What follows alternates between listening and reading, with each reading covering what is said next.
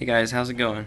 Okay, so I have run into a um, glitch or a bug or an Easter egg. Don't know what it is, but I'm here to show you guys.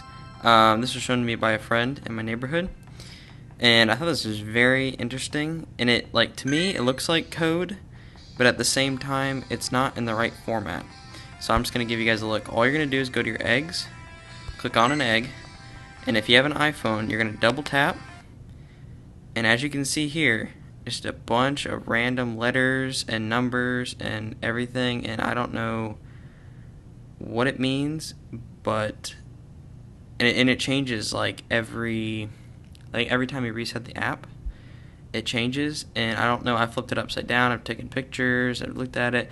I don't know if it's just a bug or if it's just a bunch of code or if it's literally an Easter egg that's trying to hide something and the code switches up every now and then and you have to put the pieces together.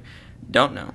But if you are like an expert coder or this is your field of expertise, please check it out uh, and comment back if you found out anything about this or if you find anything new.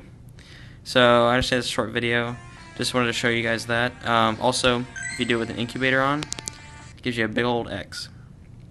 Don't know if that's a good thing, bad thing, if that means anything.